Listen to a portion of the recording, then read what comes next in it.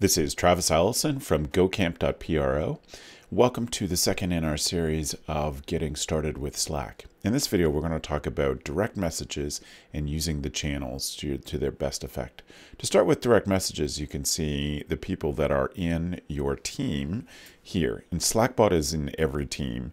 It's just a, a little space for you to take your own notes, um, you know, a place that you can put ideas, etc., to come back to later. It's just a little storage space for that. Um, and you can also teach Slackbot to put in funny responses if you say something, um, etc. It's just all lots of possibilities of Slackbot. Um, but here you have someone like Laura that I could directly message um, by just opening up her name and starting to type in here.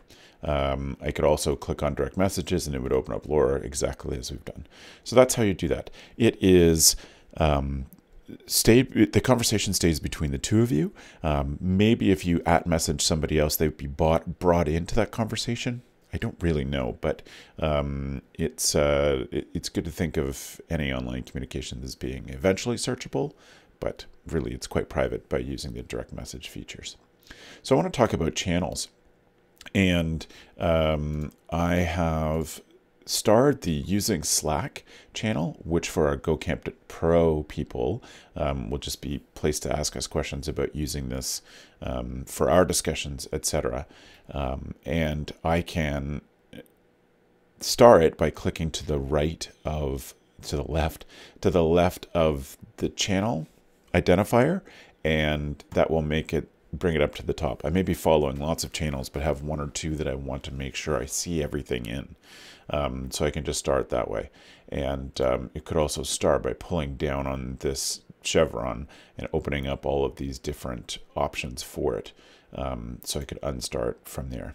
So um, clicking on a channel will bring it up in the big white column in the center and I can read all the way down to the bottom and then just uh, join in the chat here um, same as you would with any other chat client.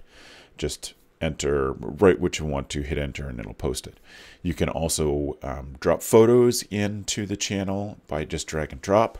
You can um, put links to other files or links to articles online or blog posts or Twitter comments. It's all available. Just drop it in there by putting the link into the channel.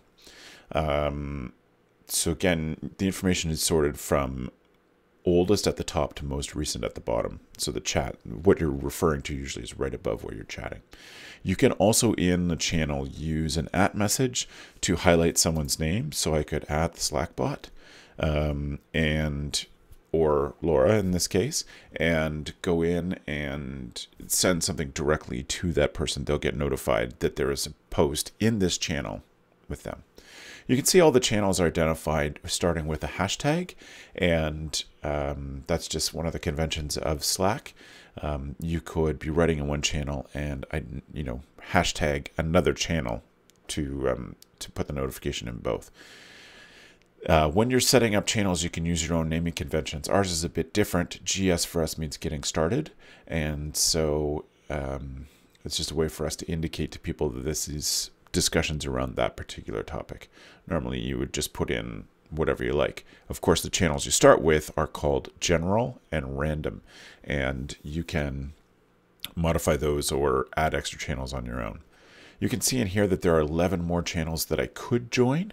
I just find the one that I like, hover over it, and click the join button, and then it shows up in my list. And um, so I add the ones just that I want to follow. At this point in GoCamp Pro's history, there's not a lot of volume, there's not a lot of discussions because it's only about to release it to the public. But you may find after a time that it gets a bit noisy on a channel that you're not that interested in, and so you could unsubscribe for it, unsubscribe from it by leaving the channel. That's in again in this drop down chevron, leave channel, and then it's not in the ones that are prevalent shown to you when you sign in. So really using channels is the way that you organize information eh, when you're chatting, when you're putting stuff out there. But again, don't forget that you can always search for things. Searching is a great tool that Slack offers. And um, if you're looking for something from the past that you remember, then I always start with search. I wouldn't scroll through a long channel discussion. You'd be there forever. Um, So I would just go through that, use search to find it. So if you have any other questions about using Slack channels, whether you're a GoCamp Pro member or not, please leave it in the channel discussion if you're a member or below this YouTube video if you're watching this on YouTube. Thanks for watching Getting Started with Slack, the direct messages and channels discussion. My name is Travis Allison from GoCamp.pro.